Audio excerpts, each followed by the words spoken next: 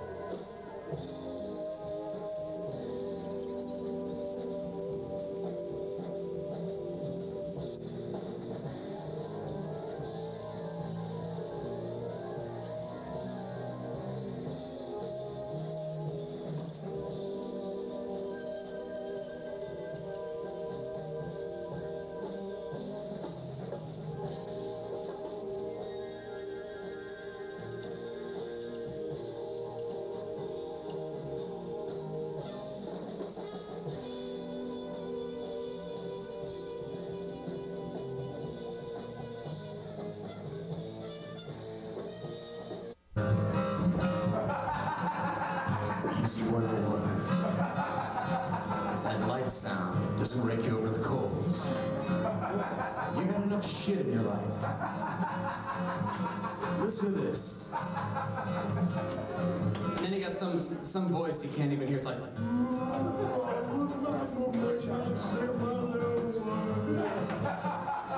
what do you say? It doesn't matter. It's light.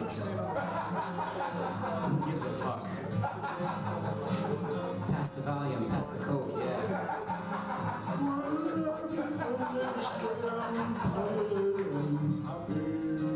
I heard happy, I must be happy, that's good.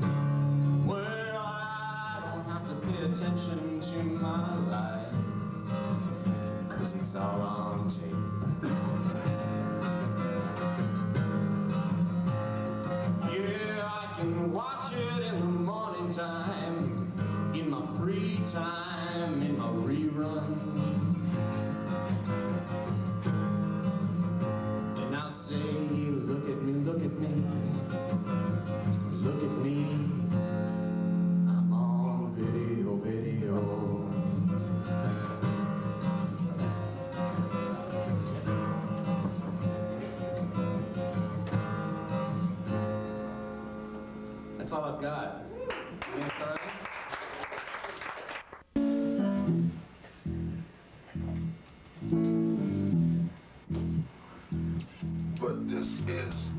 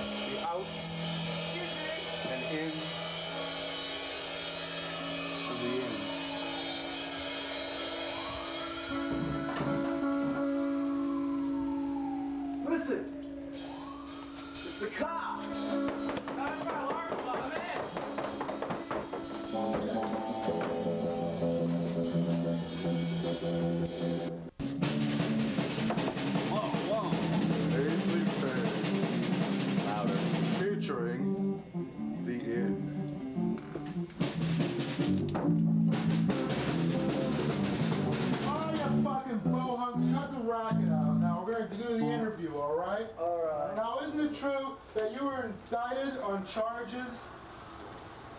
Yes. Yes. Didn't they have you for conspiracy in 1968? And didn't you go over the Canadian border with several 14-year-olds that you initiated into a cult with a satanic sacrifice? Now, you couldn't be a teenager to get into there. That's, your, your information's totally incorrect. Absolutely incorrect. I, Well, is it true that you had a counterfeiting ring based in Oregon and that you manufactured $20 bills? Oh! oh Bob. what? Twos and We threes. don't like to talk about Twos and Straight up threes. one dollar bills and never Twos and you. threes. I'm not never gonna say anything without my lawyer present. But what, what about the charges that you've actually stolen every, every song you've ever written from the band We the People? Yeah. Yeah. I've Yes never or no? Heard of it. I've never heard of it. No! Yes or no? Where's the Xanax?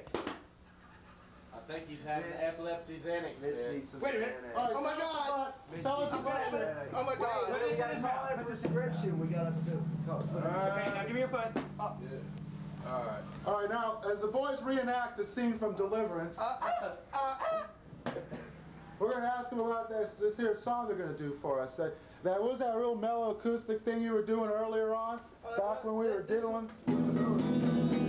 No, no, no, you know the one I mean. The one at the very beginning, you, know, you, you, you were warming up with it, and you said, let's do this one. Well, why don't you do, drunk and why don't you mama do got out of jail. We don't have no heat, man. Well, the boys are going to do their number one hit single down in Charlotte.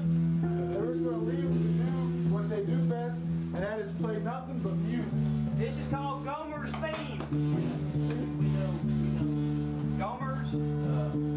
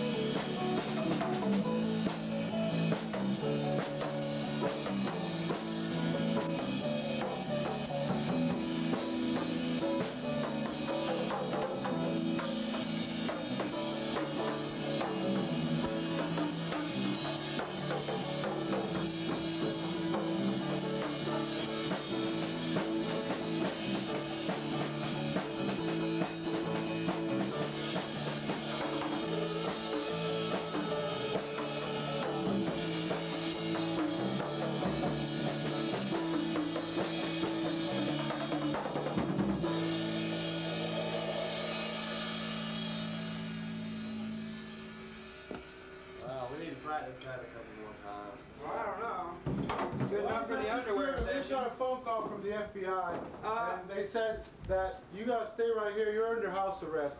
House? Um, Yeah. and We would live you- in an apartment. It's Let's some go to other the guy. ceiling up on the roof don't because even they, live they won't here. even find us. They won't. They let's won't. go to the roof. Nah. Oh man, They won't then we're gonna get there. busted. We better. We, We're going to the. here, we better Smoke you- up all the We're gonna get. Look, you're gonna get me in big trouble because we're, we're dealing crack and stuff. After we haven't even paid this month's rent, so just Yeah. please leave. Yeah. Just please leave. Well, before I go, Wait a minute. Okay. would you folks do another one? That, that was just so lovely. Well. Another bomb hit? No, no, no, no. Let me, A song. another song. Do we know anymore? Let's make one. We know that one backwards. Let's do make one. Cause you know, when I came in here, I, I really didn't like you guys, but now I think you're all Really? my friends, and Can I know you, I know you understand me. I know you understand me because you, you, you're all my friends. And we've been here for a long time. We have been And here for a long look, And we've That's been what's circles getting to us. some chicken. That's what's getting to us. Is Chicken being eating here for so long. We've been locked in this room for two years. Chicken. We were in Peyton Place playing the spoon. We were, and we need some chicken. Because, look, No, no chicken. you know me, I've been here for a long time. Two don't years. You remember Listen, us, don't you? I don't care what they say. In the same room. I think you're all right. Uh, gosh, man. How's your whole family, George? Being in the same room. for My whole years. fine and my wait a minute. family is too. Now, how is your whole family? My whole Uh, fine and my family is too. yeah. Let's, let's, uh, What do you want to make up? it seems like we did make Yeah, we don't wear makeup. Oh, I'm sorry. Wait. We weren't brought here by our own free will. We were part of an ex- a scientific experience. We're from Venus, experiment. Experiment. Experiencement. the planet of nowhere. When we're traveling through these voids of time, Is it true that you can read graffiti? no, you can only spray graffiti. If you read that in a book, uh, Graffiti spaghetti. what? You read that in the book. Okay, what would you like to hear? That one backwards or supercalifragilisticexpialidocious? Yeah, let's do that one. Am I greatly in your way here? Conjunction, junction. What's your function?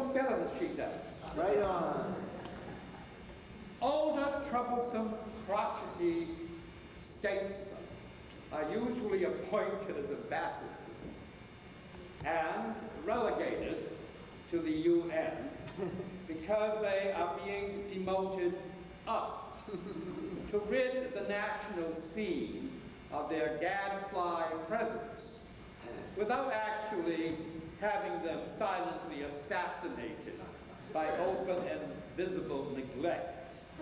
So, these gentlemen and ladies are supposed to accomplish before the whole world what they were unable to achieve vis-à-vis their own compatriots. In recognition of the ambiguous nature of my position, therefore, I feel that what I am about to say is all I can safely say without offending anyone, orbis et orbis, in the city and in the world. As representative of the United States to the United Nations, I would like to propose that Beethoven's Hymn to Joy, the climax of his Titanic Ninth Symphony, be officially adopted as the anthem of the United Nations.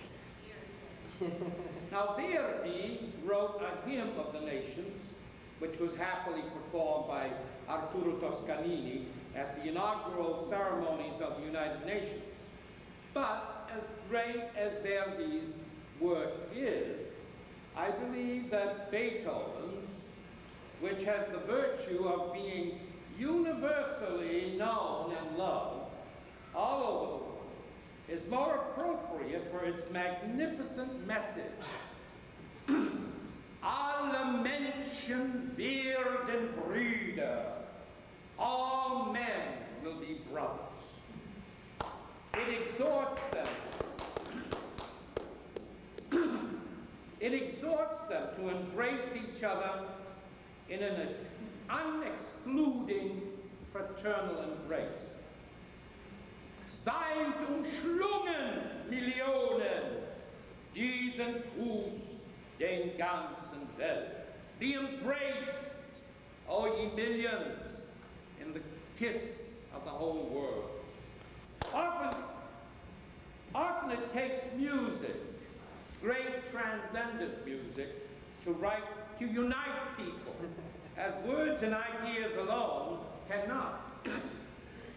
It is this Olympian music which carries us beyond mere thought on the surge of its emotional and spiritual power. The universal language which needs no dictionaries or grammars to love and understand. Indeed, music is the supposed language of the angels, the very divinity, and the spheres as they make their rounds in space. If we began each meeting of the United Nations with the words of Schiller and the music of Beethoven in our hearts as well as in our mouths, who knows how our attitude and our work might improve?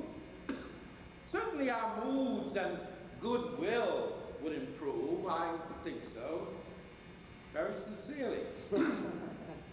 Since the whole human race, whose hopes and aspirations are centered on the work of the United Nations, it would be best expressed in the great musical legacy we have from that gigantic benefactor of the human race, Ludwig van Beethoven. What a wonderful way to be rededicated to the original principles of the United Nations. This is our opportunity, we who represent mankind in the congregation of the nations of the world. Let us bend all our efforts to try to arbitrate more than to send so-called peacekeeping troops to extinguish conflagrations already started, to prevent the beginning of wars more than to try to stop them once they have begun, to rid mankind once for all of the plague of war, worse than earthquakes as devastating as they can be, tidal, tidal waves, holes in the ozone layer, and the most devastating catastrophes of nature. For war can be prevented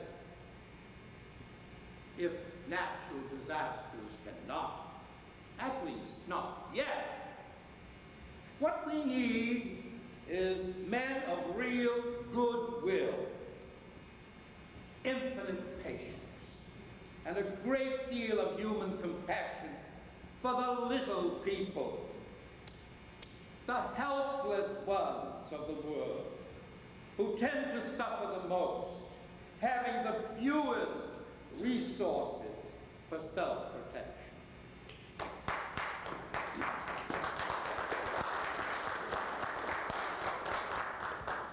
So, let us intone with Beethoven. I'm going to get away from it. Sein umschlungen Millionen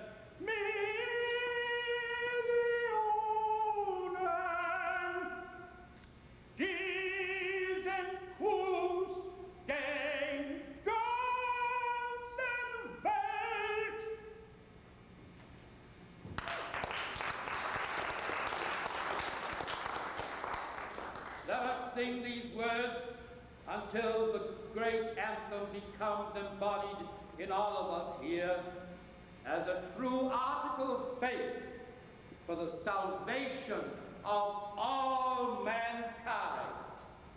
Thank you for your indulgence.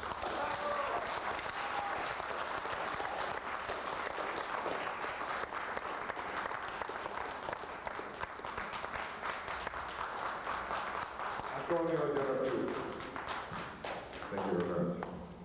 At this time, our Secretary of Suburban Affairs would like to say a few words about troubles in the suburbs. And here's Carol Burns.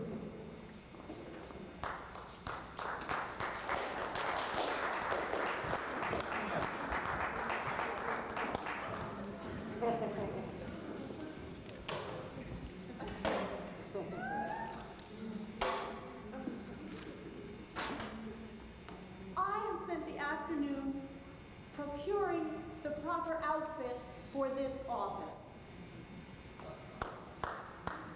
As Secretary of Suburban Affairs, this administration aims to address lingering, escalating suburban problems. It begins with unemployment.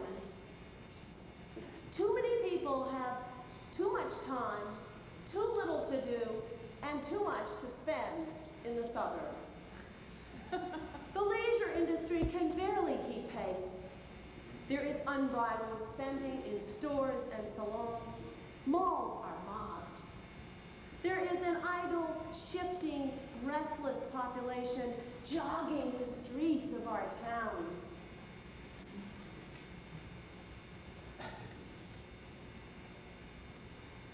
Eating Susan. They're eating Susan in the suburbs. Morsel by morsel, she is feeding herself to aching mouths tilted open. She offers the biggest chunk to the nursery school as director. The church choir, she couldn't say no. Chews away at her too. The League of Women Voters has little committees nibbling. The clothing exchange, the PTO, she offers each a taste. Dishes herself up steaming to the ravenous school as fourth grade room mother. The phone rings, a steady scream of hunger. We wanting more Susan. Susan the speaker, Susan the organizer, Susan the envelope licker. she tries to fill everyone up. In all the gluttony of filling stomachs, her own three children take greedy gulps whenever they can. Her husband has learned to feed himself.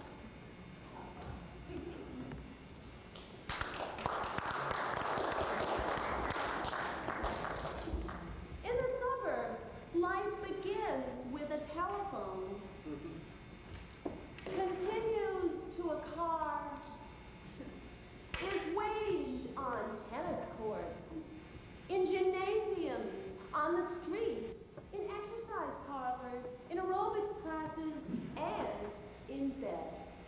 As Secretary of Suburban Affairs, I assure you there are affairs. there is partner swapping, borrowing, partner shopping, trying on and returning.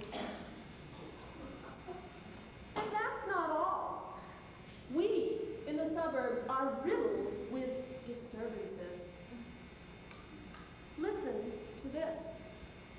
This is from the local newspaper, the police reports. January 9, 9:22 a.m.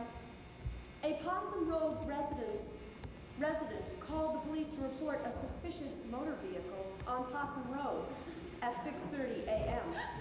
Police checked and found the vehicle belongs to another Possum Road resident.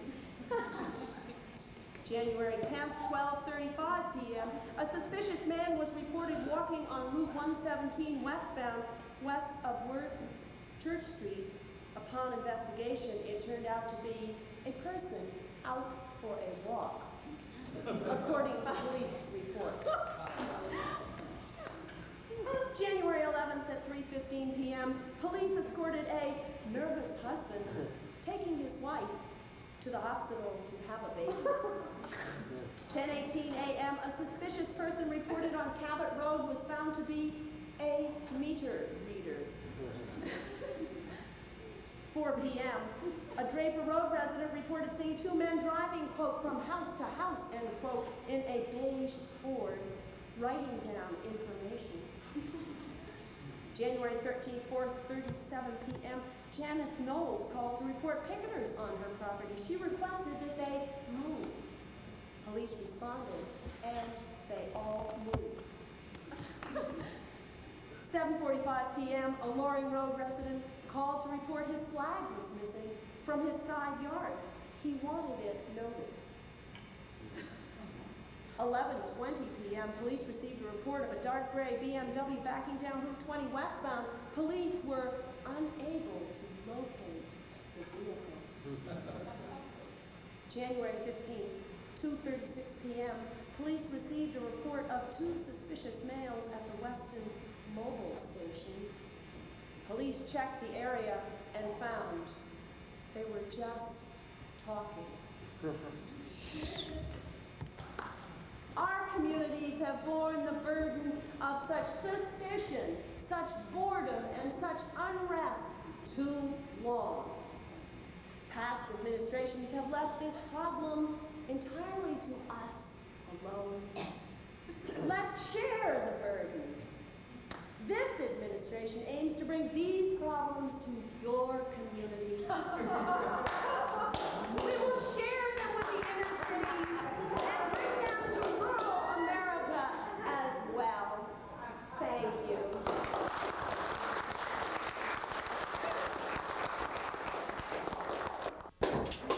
Well, now we're gonna bring Jim Ben Aaron up.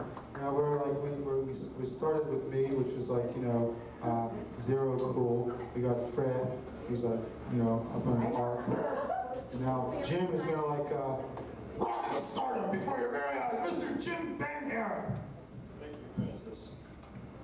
I was wondering, if you're born again, do you get two birthdays? So I'll do it if I can get more stuff. I was gonna do political stuff tonight, but no, that's not right. So I'm just gonna do random stuff, like go through my list and whatever looks good. I was thinking about my driving test. Was anybody here nervous during the driving test? You know, because I was nervous not because I couldn't drive, but because the guy had a gun. Why do the registry cops have guns? I'm like, I don't understand it. So we got out on the road. He's telling me what to do. He's like, pull into traffic, you know, stop at the light, you know, take a right. He's like, okay, parallel park outside that liquor store. So I parallel park. Like, I'll be right back. Keep the engine running. Guy gets out of the car. I'm like, what's going on? Comes running back in, takes a stock. I said, okay, hit it. Take a left. He's making out the pink slip. So I'm like, psych. If you're bored, going to Boston and ask for directions to something, and you know where it is. Don't tell the people that, and if they don't know or they get it wrong, taunt them. Wrong, numbnuts. Trinity Church is in Copley Square opposite the public library. What are you, stupid?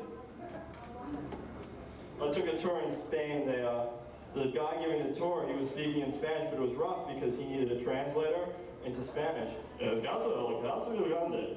He said, Esta El Casa Grande. It really happened. Yeah. Lying's important. Think about it. The more, the more, the more fun something is, the more you lie about it. Lie about sex, lie about drinking, and like, it's really important that there is lying because none of us would be here. No one would get laid if you couldn't lie, and that's the truth. I learned about lying at a young age with my mother. I got into a fight in high school, and in high school, you know, fight's kind of a big deal. They kick you out of school, and they, uh, they call your house and everything. So I get home, I know I'm in trouble. I burst through the door, I'm like, Mom, I got in a fight! It was great! She's like, cold, you know. I know. The school called me. You're in a lot of trouble. I'm like, Mom, I killed him. It was excellent. So like, when your father gets home, you don't know how much trouble you're gonna be in. Fighting's wrong, son. You could hurt yourself. You could hurt someone. Like, Mom, he called you a dinosaur neck. Oh, oh, that's very different. Um, never mind. You guys don't like that.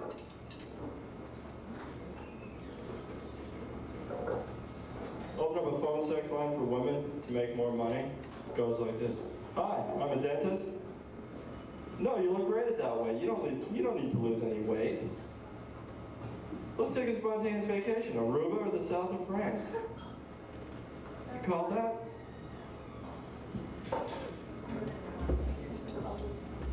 If the audience is paying attention, this sometimes works. I need a new job, and I was reading a translation of a magazine for Japanese housewife, uh, Japanese career women, and it said uh, in the classifieds that they could get uh, faithful Caucasian husbands by mail. How do I get that job? See, that wasn't your fault, that was my fault.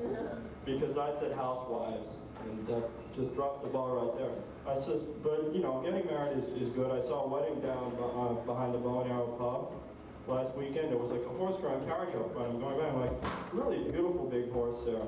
And I didn't really have anyone around it that I could see. I'm looking at this horse, this magnificent creature. And uh, then this guy in like a hat and tails, he comes around the side and looks at me like I'm doing something wrong. I'm like, nice cow. But I wanted to know why the horse was there.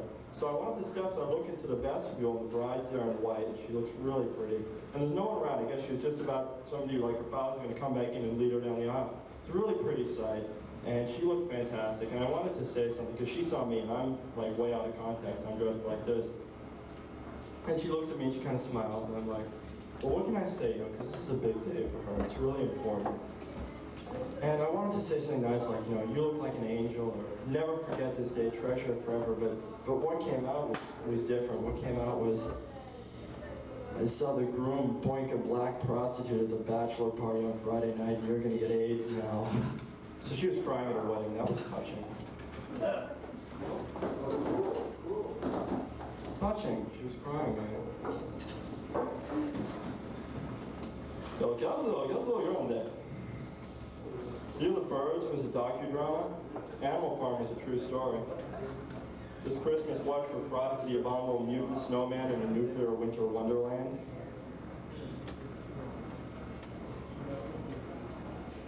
Okay, we'll wrap it up here. tell you about my Vietnamese girlfriend. I had this girlfriend, she was from Vietnam, and we didn't get along too well because our backgrounds, I think, were so very different. You know, I grew up in the suburbs, played Little League Baseball, you know, I went through all the grades and I think, young. And I didn't grow up adrift in the South Pacific in a state of semi-starvation with 200 other people on a 40-foot long boat, which she did. And there was a language barrier too, you know, as, as if the cultural stuff wasn't enough. The language barrier was really rough too. She could speak English, but if she got excited, if we got into a fight, we had some real, real bad fights. If we got into a fight, you know, she could she couldn't keep up in, in English, and she'd start speaking Vietnamese. And she'd make big scenes in restaurants. We'd be sitting there, and she'd start. and She'd say, "Hey, Quang Kang, Ching Nao, I'm like, what do you say to that? So, uh, you know, I did my best. I didn't want to uh, make a scene or anything.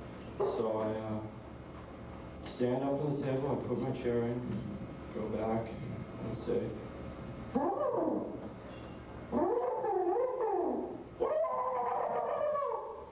and then she gets more pissed off, you know, like, like I'm not giving her respect. Thank you. That's an R. Come on up, Francis.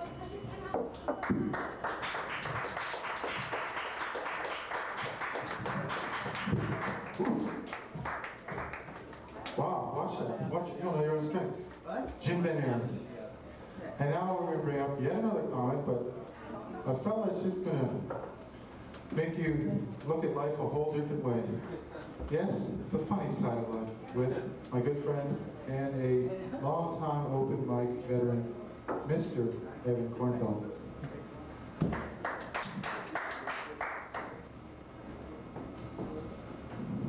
I don't know why I'm doing this.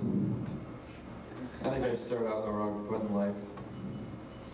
When I was born, my mother had my birth filmed. I got bad reviews. The wor- The worst part was my twin brother got good reviews. It's created sort of a tension between us. When we were eight years old, he tried to kill me. It's true. Put glue in my oatmeal. Didn't talk to him for a long time after that. My family, we lived next door to the skydiving school. One day this guy came down in our backyard. His parachute got tangled up in the branches of this old oak tree that we had. So my brother and I, we climbed up in the branches, and we found that by pulling on the ropes, we could use this guy like a marionette. So we put on a puppet show for the kids in the neighborhood. But then our mother came out and yelled at us. Seems you weren't supposed to play with things that didn't belong to us. So we left them up there. Made a lot of noise at first, kept us awake at night. But after a while he quieted down. Then he started to track then he started to track dogs and cats from around the neighborhood. But now he's just a conversation piece. Recently took a, class in rock climbing. They had us start out small. We started out climbing gravel. Then we worked up our, worked our way up to curbstones. But I found out I'm afraid of heights, so I had to drop out. Then I took a class in Zen Buddhism. I didn't do any of the readings, didn't do any of the homework, and I never went to class. I got an A plus.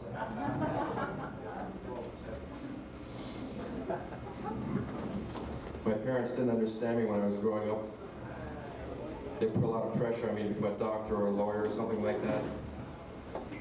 I couldn't make them understand that my real dream in life was to become the king of polka music.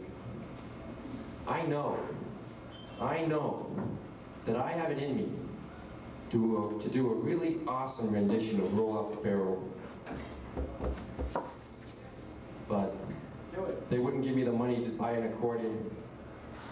So I decided to make one. Ripped the keyboard off my parents' grand piano and glued it onto the vacuum cleaner. Worked pretty well, I thought. Finally, I ran away from home because I couldn't stand it anymore. I joined the circus. I became the personal manager for the dog-faced boy. I took pretty good care of him. He got really sick once, and I called the doctor. I could tell he was sick because his nose was warm. But he wouldn't listen to my advice, though. He ran off to Hollywood to pursue a career in movies. He saw himself as a sort of a cross between Robert Redford and Benji. Impression. Now we're going to bring up an impressionist does good impressions, original impressions, impressions you've never seen before, impressions that'll leave an impression on you. His name's Charlie Kvaaks. He's a first timer here, so be kind. Charlie, come on up.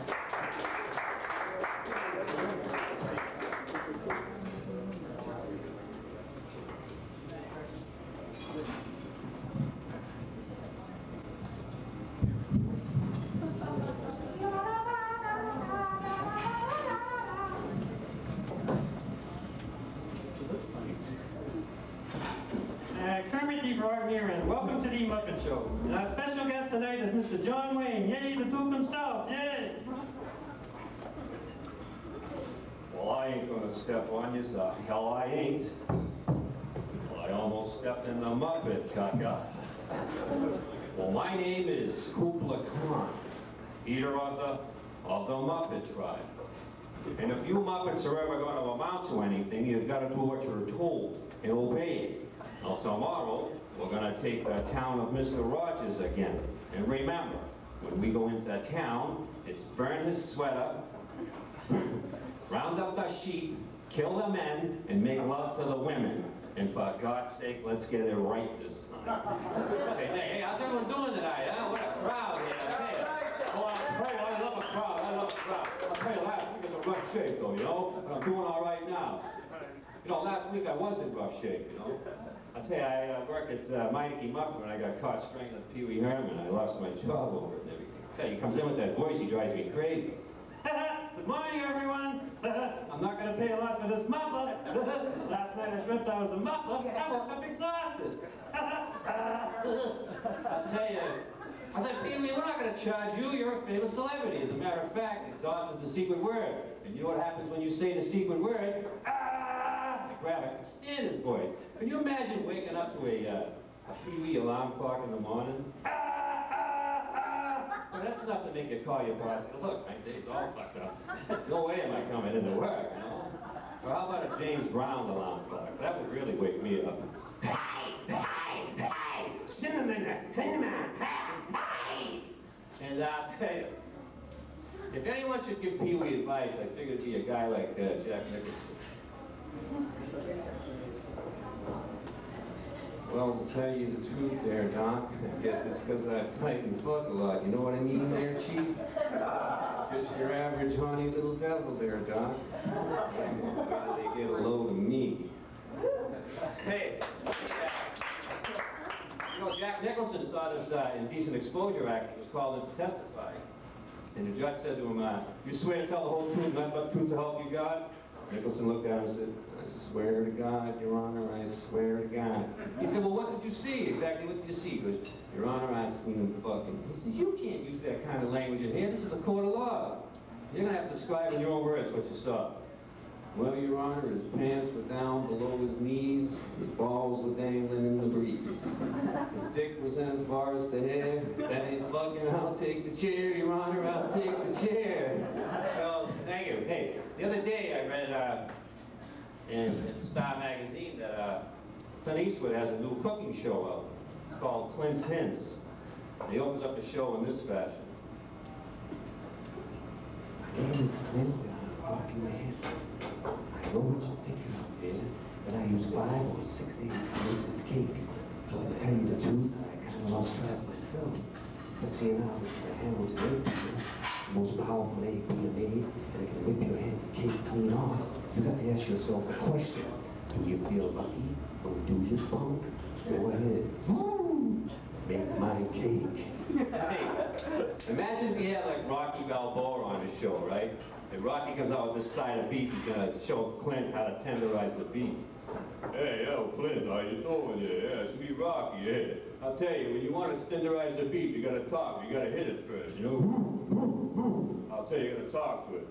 The name is Sly, I'll tell you no lie. You mess with me, you're gonna fry, you know what I mean? Hey, so if I say hello to Adrian out there.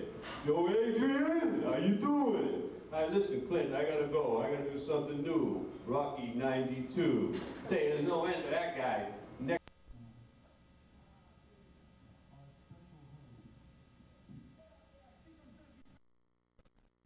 All right, wow. Hey, this guy, he's got a song that'll go on for a few minutes. While Jeffrey micturates, What's up, man? How you doing? I guess we'll just go over the special guest stars that we've all invited down here. Well, of course, we have the lovely Elaine Gold Garcia. Yeah, Um, Lane. she's practically a fixture here. And Don't let him do that to you, Elaine. Don't let him embarrass you like that. I'm not embarrassing her. I'm calling attention to her. And let's see, we got uh, our sound man, Mike. He's, al- he's always ready with uh, a cable or a laugh and Or a light. or a light, and yeah. And we got Blue, our video technician and mastermind, and he wears a hat with a hole in the top, so you think it's a raccoon tail hanging out, but it's actually his hair, and that's a pretty nifty trick. And uh, see, we're gonna have the ghost of Jackie Gleason, and he's gonna drink some whiskey out of a coffee cup, and he's gonna pretend like it's coffee, but we all know it's whiskey. And uh, what other beloved old entertainers' spirits are going to be present in this room when we do the open mic, which is, oh yeah, Arthur Godfrey. Uh, he's going to talk for half an hour about the merits of Maxwell House coffee, and you're all going to love that because it's going to be much more entertaining than what he really does. Chock full of nuts. Oh, I'm sorry, it's chock full of nuts that he used to talk about. Boy, we got some real old timers in the audience here.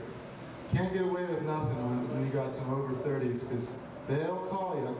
I guess that's the difference between the over 30 crowd and the under 30 crowd. The under 30 crowd, they just say, ah, what an idiot. The over 30s.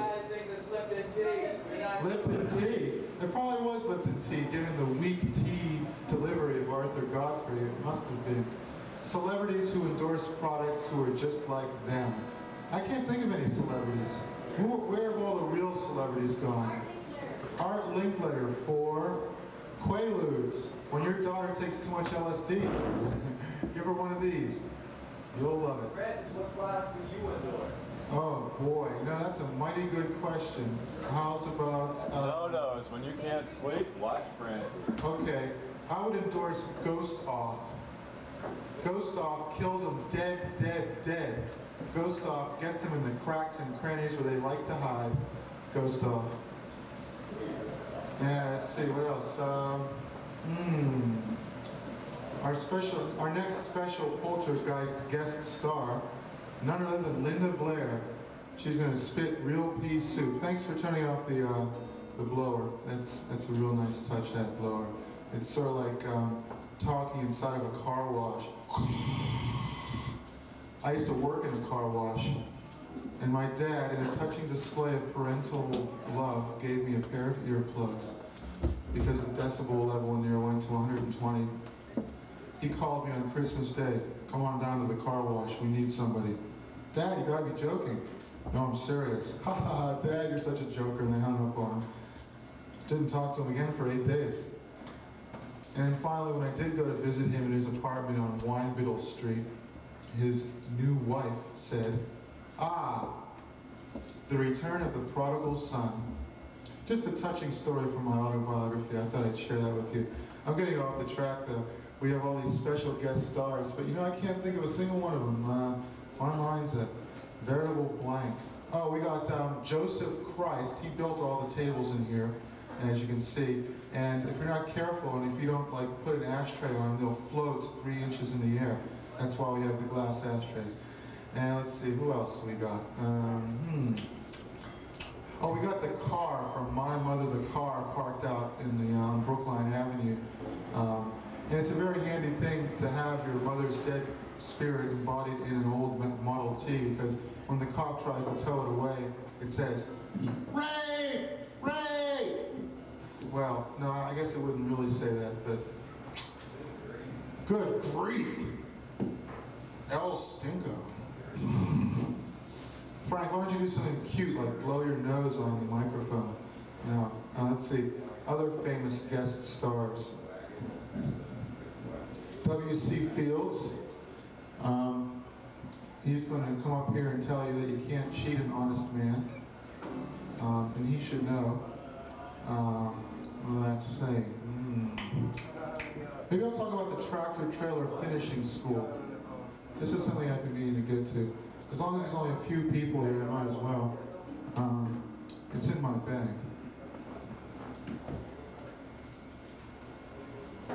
Now, feel free to throw your money in that hat, by the way.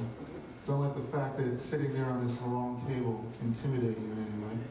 Uh, yeah, I, I noticed these. Thanks. Hey, great. It's called busking. You play for the money they throw.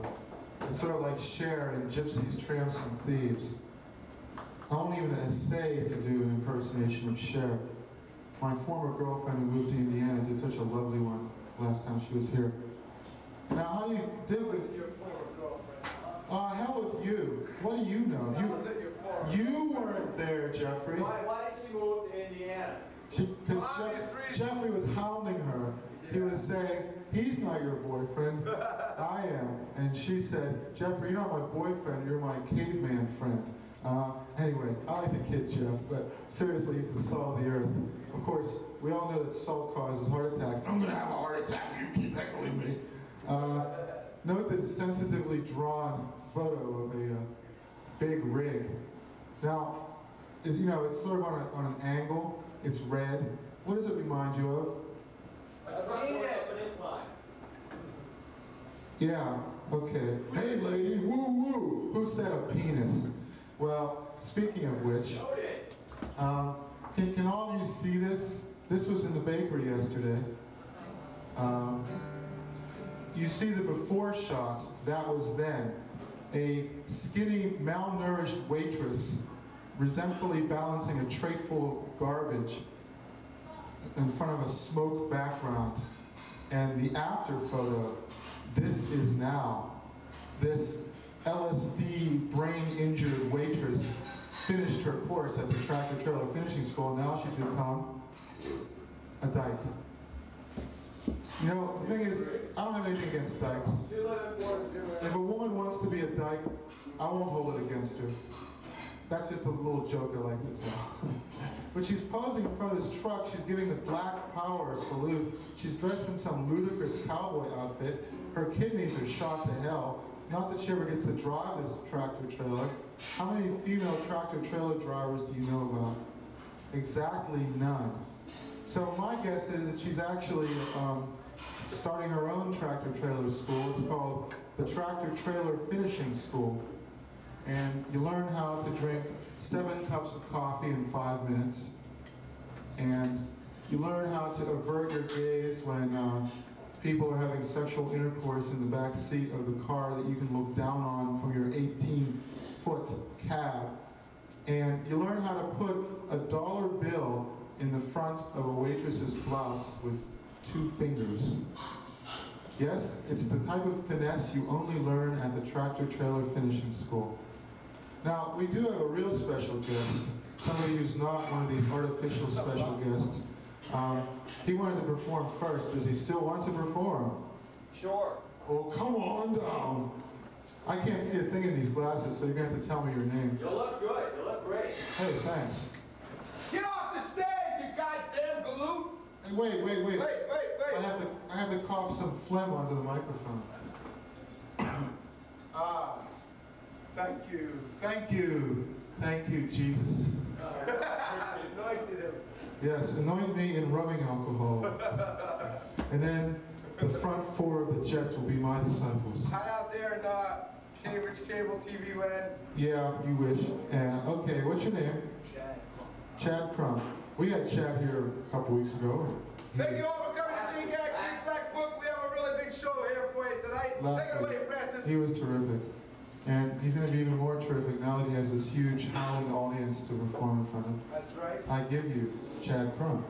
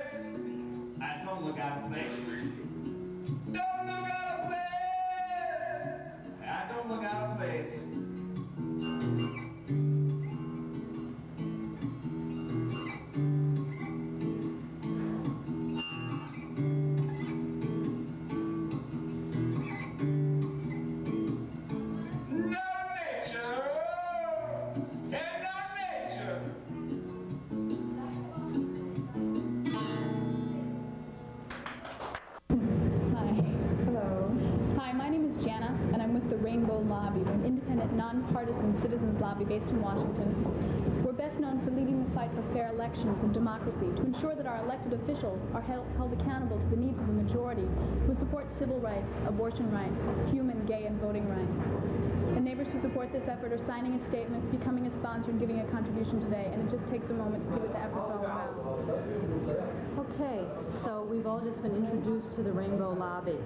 And in fact, many of you who are watching this uh, program uh, may have heard these very same words because they're being said thousands of times a day uh, to thousands of people on street corners, on doors, all across the country, from Harvard Square to San Francisco to Atlanta to Chicago. And I want to thank Lou for having the Rainbow Lobby staff here in Boston on his show so that we can talk about our efforts to promote fair elections and democracy both nationally and internationally. And first we're going to introduce ourselves. Um, my name is Kate Gardner. I'm the Canvas Director. I coordinate the recruitment and hiring of canvassers to go door to door to sign up members into the Rainbow Lobby. Hi, I'm Elise Mendel, and I'm the crew manager, and I'm responsible for the everyday political and skills training of our can- grassroots canvas for lobbyists. Hi, my name's Sandy Friedman, and I've been working on distributing these flyers throughout the city, looking for folks who are concerned about protecting civil rights, women's rights, abortion, and gay rights, people who want a job this year fighting the right and are looking forward to getting paid to do it. Hi, my name is Joe Spirito. I'm the turf manager for the operation. It's my job to scout every neighborhood and know every neighborhood in the state, so we make sure a Rainbow Lobby canvasser knocks on every door and speaks to everyone in every household in the state. I'm Robert Lagos, and I, I just joined uh, the Rainbow Lobby, and uh, I was attracted by uh, their uh, uh, their goals, and uh, was uh, very much in line with uh, uh, what I uh, feel intensely about civil rights. Uh, my name is Selena, and I'm also new to the organization. I just started yesterday, and I'm very, very excited about the work that the Rainbow Lobby is doing.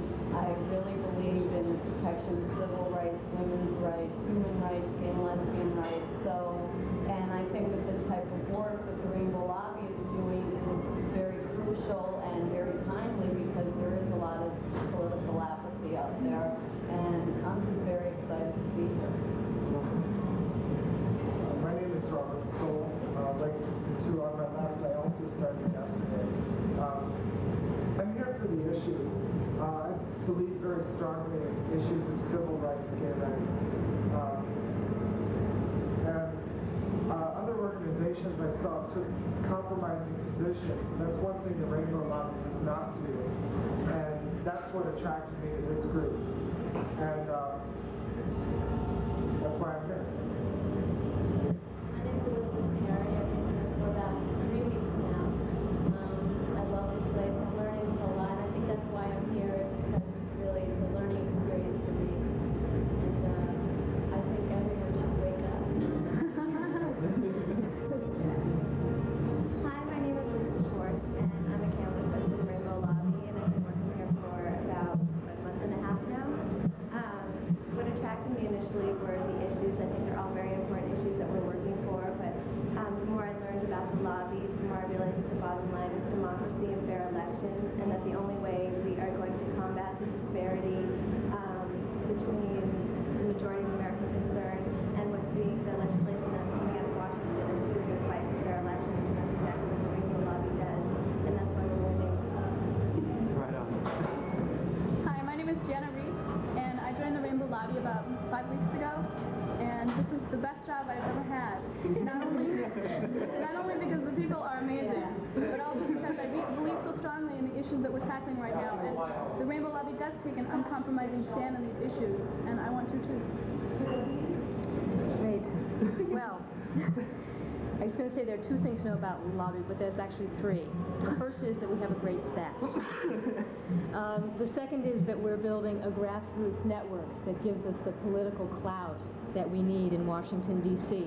We already have 140,000 members, sponsors, and contributors all across the country, and we're growing rapidly, which means that we are always looking for new people to hire to come and help us build that network. The third thing to know is that we're the democracy lobby. And we believe that the fundamental issue is the erosion of democracy. And that the fight to strengthen and expand participatory democracy is key. We're independent. That means we're independent of the Democratic and Republican parties. We were founded as a nonpartisan lobby in 1984 by the Rainbow Alliance, which is not the Rainbow Coalition. The Alliance was a confederation of individuals and organizations in the independent progressive political movement. People like Thomas Todd, representatives from the uh, California Peace and Freedom Party, uh, Vermont's Liberty Union Party, Wisconsin Labor Farm Party, the National New Alliance Party. They all shared a common commitment to the Rainbow Social Vision and believed that that vision of inclusion would only be realized through the opening up of the electoral process to independent views and to insurgent candidates. So in order to effectively challenge the almost insuperable legal restrictions to independent candidates being able to run, they opened the Rainbow Lobby office in Washington, D.C. And over the last four years, under the directorship of Nancy Ross, the Rainbow Lobby has become, according to the New York Times, the 11th largest lobby in the country. And we've become involved with many, many different issues, which many folks here have spoken about. We've authored a National AIDS Bill of Rights, which would protect people with AIDS and people in high-risk groups from discrimination in terms of housing, employment, medical care. With Representative Ron Dellums of California, we have pioneered legislation to cut off military aid to the brutal, self-declared dictator for life of Zaire. In fact, this last uh, month, uh, many of us, we all, many of us here participated in a grassroots information campaign um, against this dictator when he came to this country to visit President Bush. We're also approached by many community organizations, you know, Lowell environmentalists, uh, uh, Head Start educators from New Jersey, the Chippewa tribe from Minnesota, people who have approached the Rainbow Lobby for legislative research and access to Congress. What's fundamental is the Rainbow Lobby's commitment to fair elections and democracy. That's what underlies all of these issues and makes it possible for us to fight for them. So we want to talk a little bit more about the crisis in democracy that we face in this country and what the Rainbow Lobby is doing about that. Okay, so what is this crisis? What is this erosion of democracy? After this last election, it was the lowest voter turnout since 1920. And there's been a lot of polls and um, anal analyses to discuss why that is. Um, one indication, um, one poll was that the United States is now the lowest voter turnout of any industrialized democracy in the world. We actually beat out South Africa, where not even all their citizens have the right to vote. Um, in fact, as the ones of us who did vote, 66% of us did not like either one of the two choices. An ABC poll showed that 71% of us believe that candidates will say anything, make any promise just to get in office.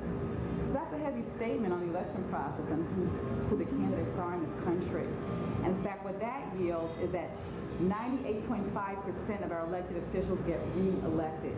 So you think we have a permanent Supreme Court, well, if you look at the government, that's real permanent.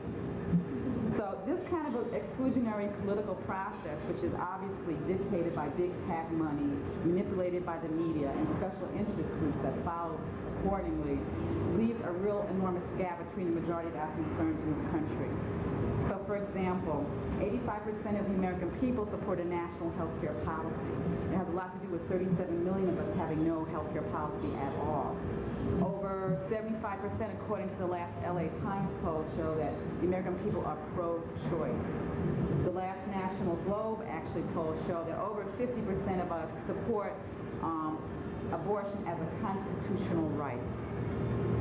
The majority of American people support full sanctions against the South African government, support cleaning up the environment no matter what cost, support increasing their own taxes if it means doing away with homelessness in this country, etc. So what's the response in Congress? Well, there's a national health care policy that's been sitting in Congress for 18 years. Full sanctions was not passed during the last Congress in the Senate.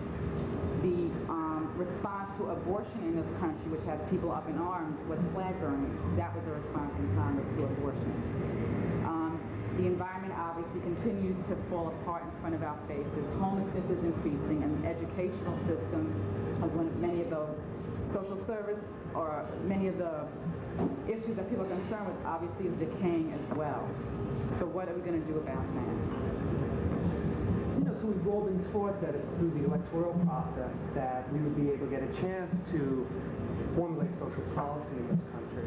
That we've been taught that that's exactly what participatory democracy is all about. But the reality is over the last 40 years that any possibility of participating in that process has been clearly eroded. That there have been erected obstacles and barriers. There have been obstacles erected around ballot access laws that have made it virtually impossible for independents, for insurgents to even get on the ballot. That we've seen in the past year the destruction of the fairness doctrine, which at least gave us a possibility of having an opposite point of view presented by the media that there, it's almost a national shame that it's still it's still virtually, it's still difficult to even register to vote in states around the country. Even a liberal state like this one, you can't register by mail. You can't even register at a post office. Something that you can do for the draft, for instance. That PAC money, that's it's true. That that we've seen more and more that the that money interest, that PACs. PACs have contributed $150 million to congressional candidates last year to incumbents. More than half the money of incumbents now come from PACs, from swap money, from honorariums. It's become a virtual playground of multimillionaires and handpicked politicians to the point where 52 Congress people last year ran completely unopposed. Completely unopposed because people couldn't even raise the money to mount a challenge, let alone a shot at winning an election that we wanted to take a, a, minute or two to focus on one particular issue, which is ballot access laws and the difficulty around ballot access laws in this country. That people don't recognize this particularly, but if you run for office in this country as a Democrat or Republican, let's say for president, you are only required to gather approximately 50,000 signatures to access the ballot. That's all 50 states. But run as an independent, you're required to gather more than a million and a half. It's turning independents, third parties, into virtual extinction in this country. But it's not just actually the barriers around signature requirements. Let's just take two states, for instance, Florida. You need 56,000 plus signatures on single postcards to get on the ballot in Florida, which means you need to gather about 100,000 signatures to ensure gathering 56,000 good ones. But you also have to submit to the state of Florida 10 cents for every signature for filing fees.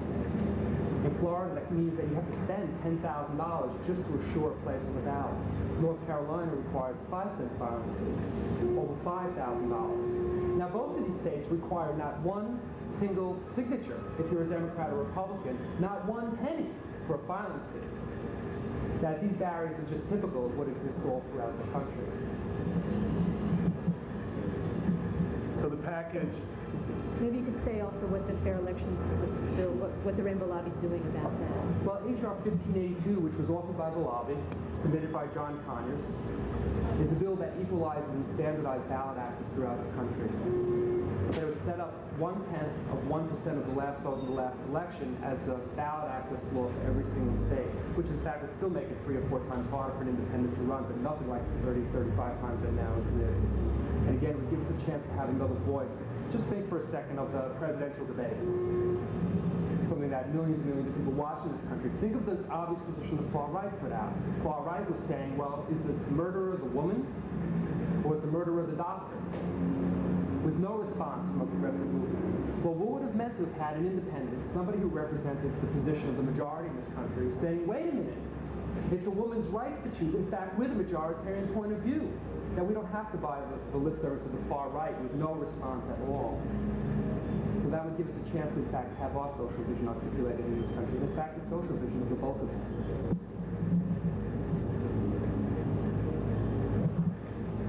How do we do it? How do we pass this legislation? That's my part to talk about. I mean, it's clear legislation Rainbow Lobby is fighting for makes sense. It makes sense to most Americans. Most Americans support democracy. Legislation to allow us to register to vote by mail, opening up the ballot, campaign financing reform makes sense. Who, who would who would oppose this? Well, the answer to that question is Congress. Congress people like the election laws the way they are. I mean, if you're a congressman now, you're in office for life. Congress gets reelected, as I think Elise said, 98.5% of the time. You have lifetime job security, no matter how you vote on the issues. So you can ignore the majority of us and stay in office for life. So we're faced with an uphill battle, getting these congresspeople to pass laws which make them more vulnerable to the electorate. We want them to be afraid of losing their jobs when they don't do their job, which is working for us. So the answer to how, what to do is, is what the Rainbow Lobby is doing, what people in this room are doing, is going door to door, day after day, all over the country, signing up the ones and twos, the fives, six, and seven neighbors across the country as members of a grassroots network that's fighting for democracy. It's people's signatures that get us in the door to meet with Congress people. That's what literally opens the door and gets them to sit down with us.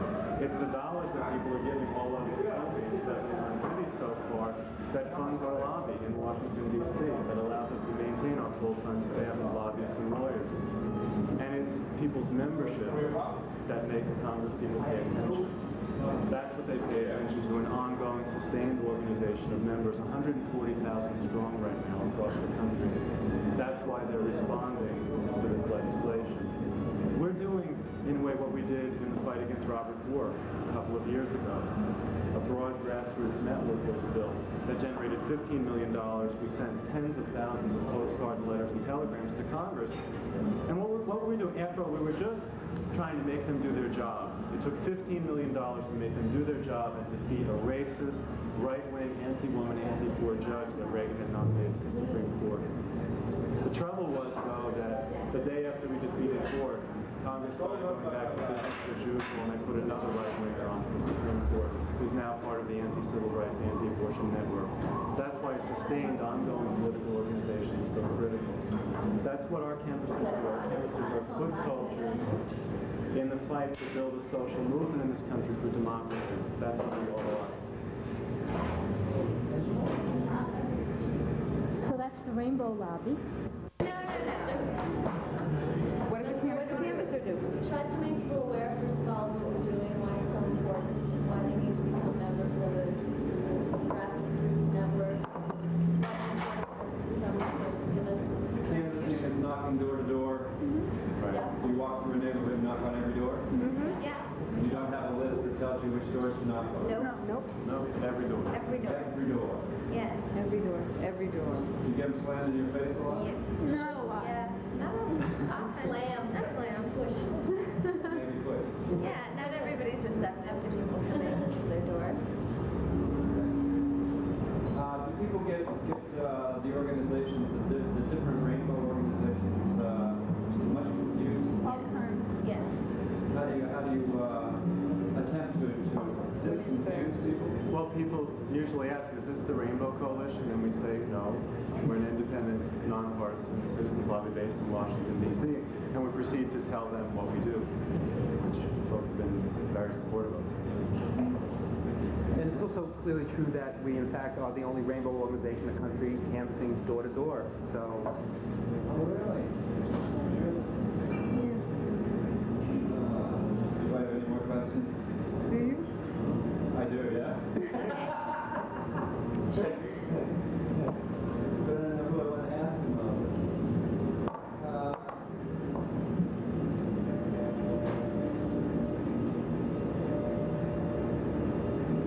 and when you're when you're canvassing, are you also looking for for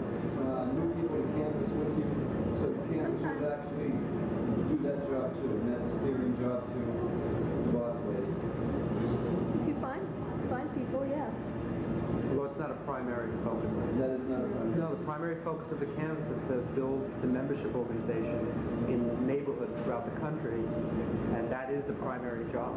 The primary job is to gain, gain members. Right. Right. Is to build a membership Build organization. But that's what the far right builds. The far right has enormous clout because they have enormous membership organizations, it generates literally millions and millions and millions a day, a day in this country. They far out fundraise us. The member organization, that's like Lions Club and the, uh, the Rotary and those things. You think more of it like there's the moral majority membership organizations, and then there's things like the Rainbow Lobby. Uh, moral majority membership is, is basically church congregations. Isn't it? But it works, it works very well. They have a very, they have very tight membership organizations. I mean, they, a lot run through the churches, but it's given them enormous clout. They're very organized. They can call up their people at the drop of a hat. They'll drop a postcard. They'll come out on a picket. They'll call up a congressperson. They'll vote. They'll vote. They'll vote. They'll vote. The far right generates votes. They know how to organize voting. So the voters are already there and they're just organizing the ones that are there. You're trying to get new voters and get your, get your people to think. No, we're trying to make our votes count. We're already there, but how can we register our voice in a process that's exclusionary and blocking us out? Building a movement for democracy in this country. Real, real news. Yesterday, the uh, National Organization of Women Right. uh, put in a vote for a third party. Exactly. Uh, is this, is this also, are, are you advocating a third party? No. You're not? No, we're a nonpartisan lobby. For, lo- for many years, we have said, though, that we can't depend on the two major parties to do anything about our issues, and that we need to open up the process to make it possible, you know, for us to have candidates that would, you know, for us to have clout, to, for us to force the candidates out there to be accountable to our issues. Right. So I think it's great that, that NOW wants to do that, but our job is to, you know, I think it's to make it possible. Right now, the laws on the books make it virtually impossible for them to run So this candidates. goes exactly to your, to your, your comments earlier. I mean, the fantasy that we grew up in America, that yes, you too can run for president. Think of it for a moment. Democrats and Republicans, like we talked about, have a particular access. If NOW wanted to start a political party, why is it organized in such a way that it would be 35 times more difficult to run if they wanted to run that way? That's not our conception of democracy. None of us grew up with that understanding, but that's in fact the law. That's the law of the land. But people don't support that position. And in fact, we're teaching people that, and people respond by saying, I don't support that. I support fair elections. And they join. Yeah, it's a new way to understand democracy. That democracy is not just the good old boy network, and you have, uh, you know, democracy is not exercising your voice, you know, your voice between, you know, garbage can A and garbage can B. That's not democracy. Well, it's not. Democracy is when the majority of people in this country have a variety of candidates, a variety of choices. We have a national dialogue, we have competition amongst candidates, and you vote for whomever you choose to vote for. We don't advocate the candidates of the political parties. But democracy is the understanding that you can get represented in Washington. That's what we understand democracy, and that's not what's happening. And meanwhile, people are dying in the streets from homelessness. The environment is falling apart. There's some real serious issues at hand. So we can't keep going along. I mean, when abortion, civil rights, all these issues are getting flushed down the toilet, and you know, it's business as usual in Washington, and we can't afford that.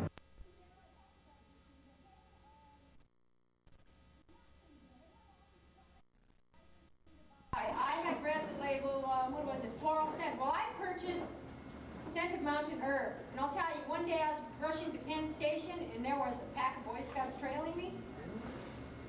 Everything's all off. Thank you, thank you, thank you. How many more minutes? One more minute? Yep. One more minute, one more minute. Okay. Back to Consuela, because I want to develop Consuela with proper timing, okay?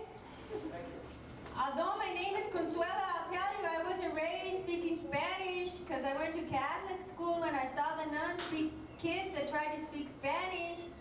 Yeah, this nun beat a kid like a piñata. And the only reason I know it is because when the candy fell out of his pockets, I ran and picked it up. Okay, thank you, thank you. That's. I'm building this for the rest. Okay, thank you. Um, one other thing. I really get tired of people thinking that just because my eyes are brown, my skin is brown, my hair is brown, that I have no color? okay, I'm sorry. Okay, never mind, I'm sorry. I really get tired of people thinking that I should speak Spanish. I mean, every time they come up to me when they're visiting my state, they say, gee, you know, where's a good Mexican restaurant? I don't ask them where it's, what's the best uh, brand of TV dinner, you know what I mean? So they come up to me and they say, gee, you're from New Mexico, you're Hispanic, and you don't speak Spanish. And I stereotype back, gee, you're fat and you don't speak pig like me. Thank you, that's it. I gotta go. Adios. you know the cartoons? Did you detect the cartoons coming out of her dialect? Okay, guys, that was Consuelo, my illegitimate child. Oh. Oh, before I go, I did want to apologize for last week, okay? I sort of had a long day. I had it, and I was like letting out a lot of steam on people, okay? So I apologize for being sort of uh, mean over here. Oh, she's not mean. We love you so. Good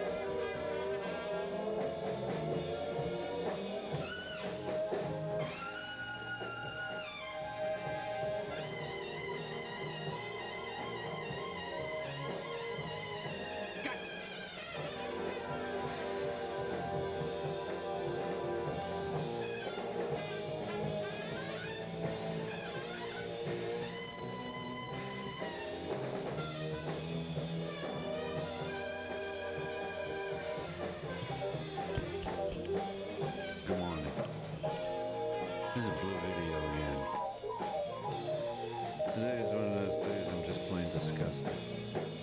I don't know what's wrong with the world. Don't even care.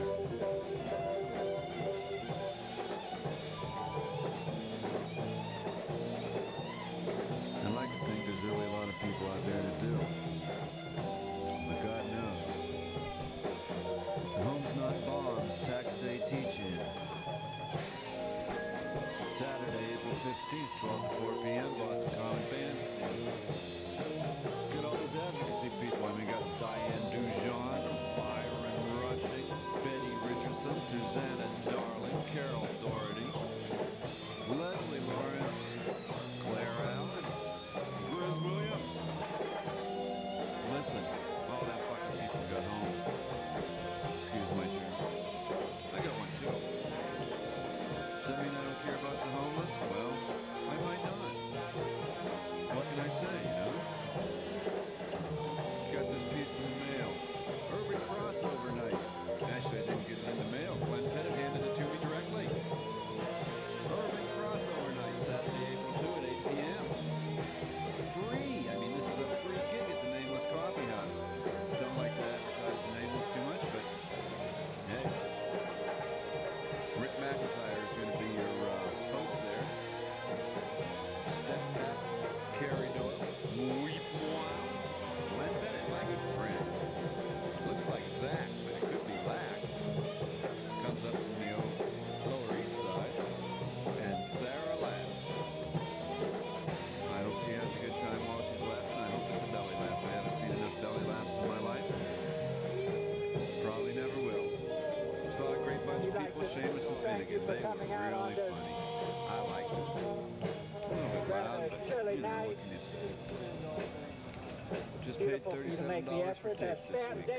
going broke.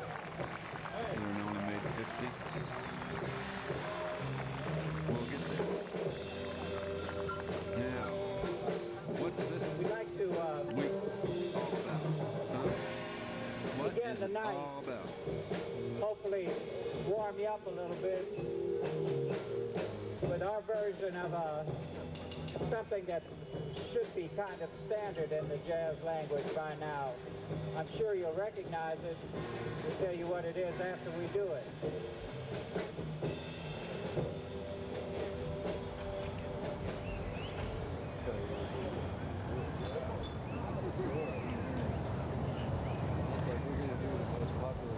I guess I should say a couple words for Stone Soup Poets. Stone Soup Poets been around for 18 years. Got a birthday coming up the 2nd of May.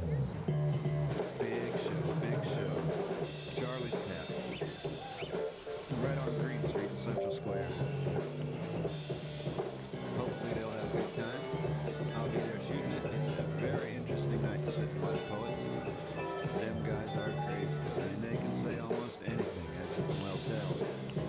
Shot earlier in the show of uh, Antonio Gerabuto and Rick Hospodar was from the counter inauguration, wherein the Stone Soup Poets put up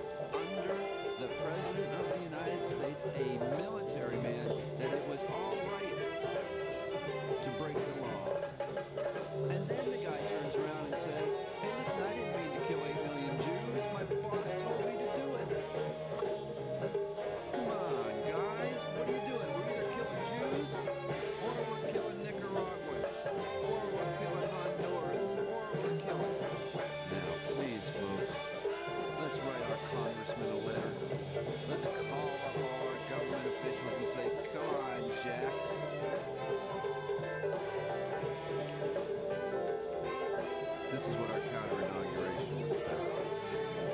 You know, instead we put up poets. Poets by George Poets. How can you beat poets? But I'm sure glad we didn't put You Out of It. I'm sorry to even mention his name sometimes. But at least he's a poet. Now other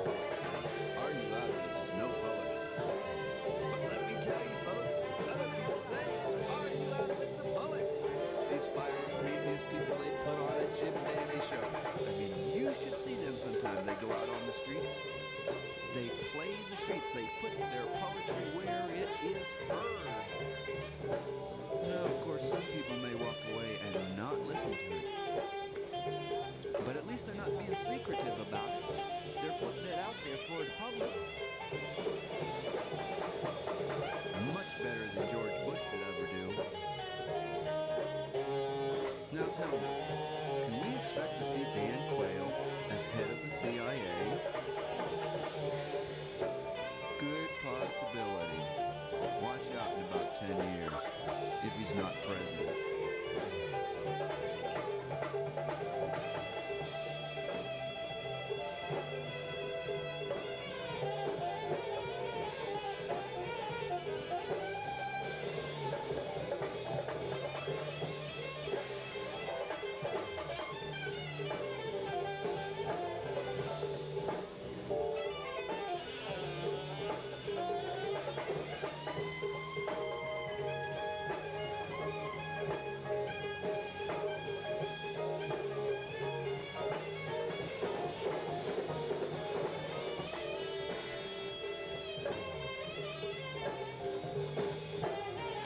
The real question is, has there been a CIA coup?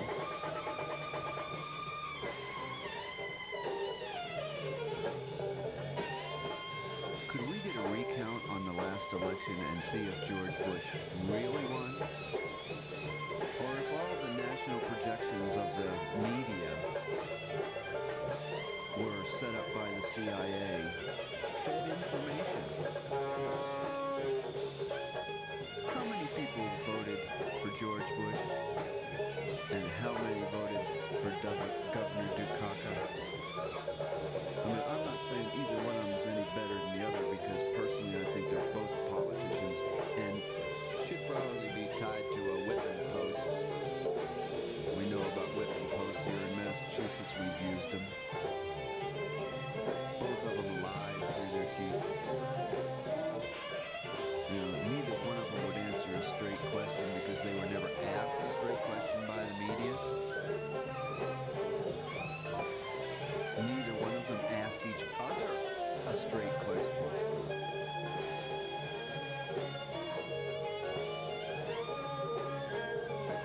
And then we got election results. I am disgusted. Let me tell you, my girlfriend is even more disgusted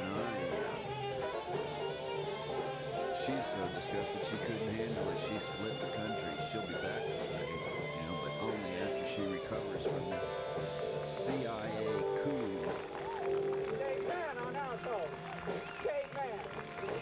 Now, for any of you who don't know who I am and what kind of politics I have, I don't personally espouse any views politically. I do ask questions. More than the answers. Mostly because you don't have any answers, you only have questions. Answers are a thing of time. They come and they go and they disappear and they fly around and they change depending on who's giving the answers. Now, so really, and it could be a sir or madam, every answer is totally right, and every answer is totally wrong.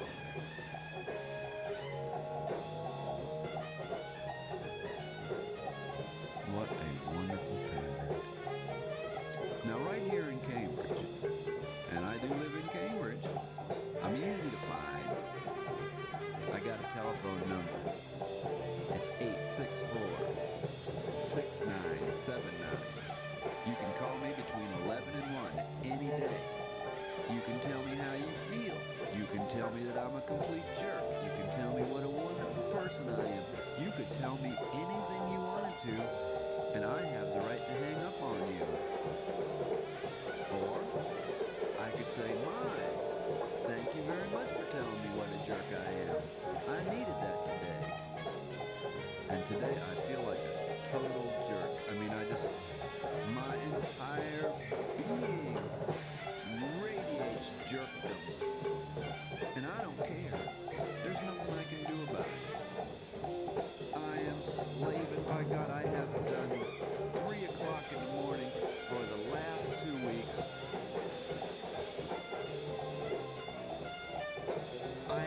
7 o'clock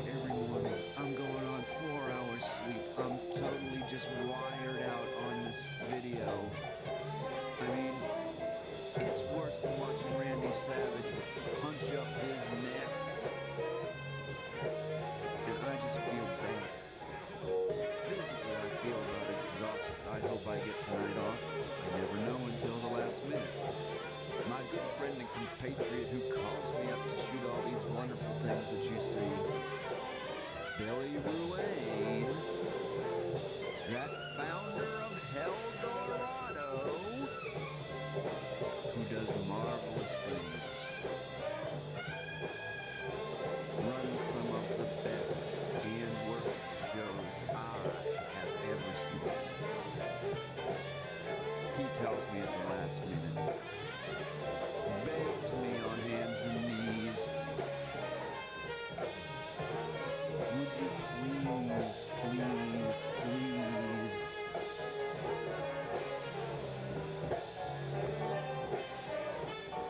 come out and practice your art. And I say, well, Billy, you know, you know how I am. Every chance I get to go out and shoot, I go out and shoot. I don't care where it is. I don't care when it is. If I got the time and the camera, I can shoot it. And will. Now, better than that, I cannot do it. Remember this, though. Joseph N.A.B.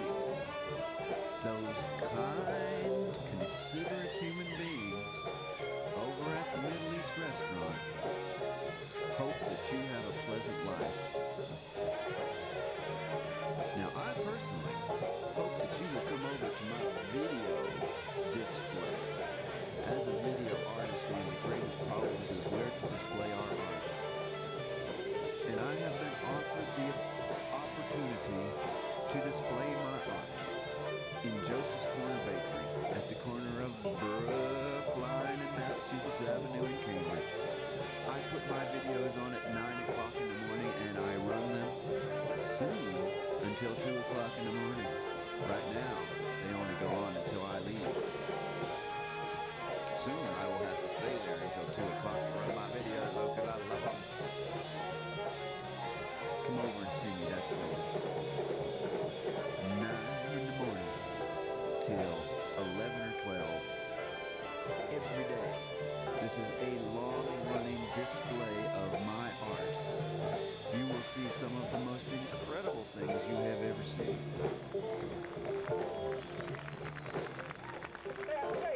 That's on the corner of Brookline and Mass Ave. I would like to thank very much these brothers Joseph and Nabil for allowing me to display my art so purposefully.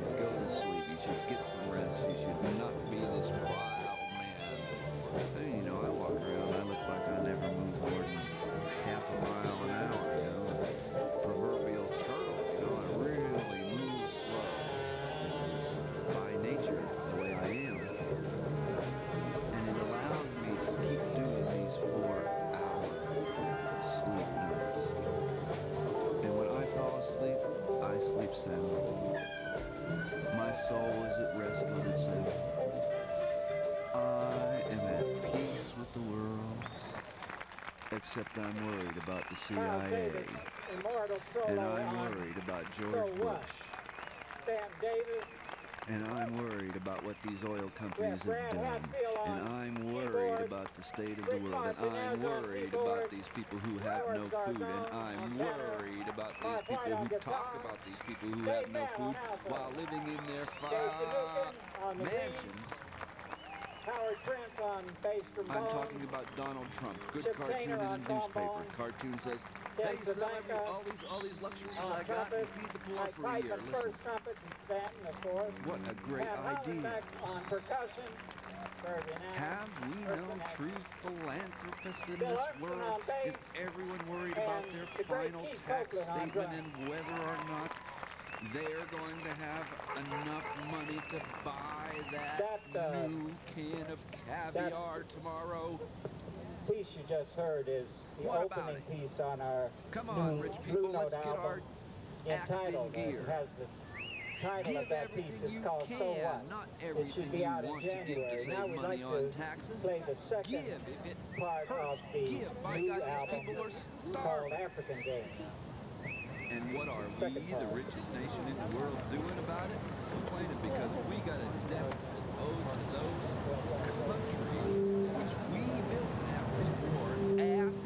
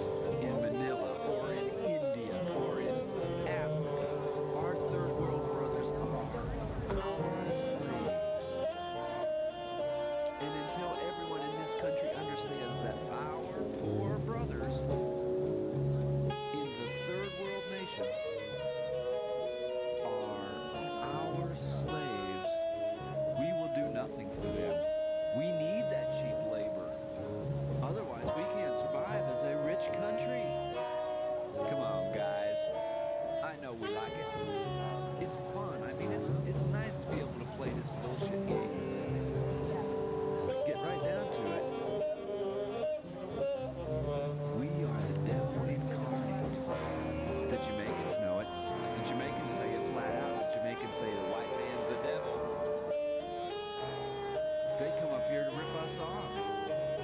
They don't come up here. I mean, they're nice. They smile.